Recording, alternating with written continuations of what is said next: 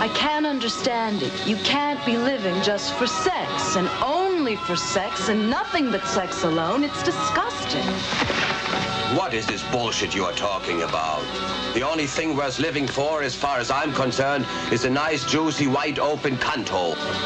This is the meaning of life for me, when I'm stuffing my cock into a nice, slimy pussy. The rest is all horseshit. Your sense of values are really impressing me. Wait till I shove it up your ass, then you'll see. See.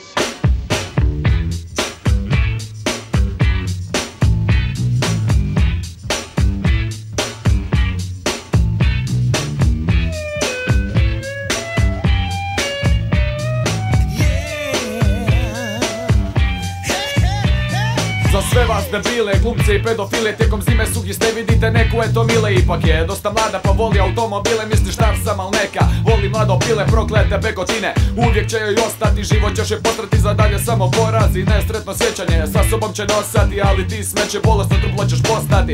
Svi ste face pičke veće nego krater U meni gore vatre koje jebat će ti mater. Napravit ću zamke krvave samo za te Vatrom topit ću ti mozak ko što se tope sante. Krvoločan karakter za ljudske mutacije Sick mind, paragon, glava operacije Slažem kombinacije, pišem detonacije Ekstravaganta nu, tvori samo nasilje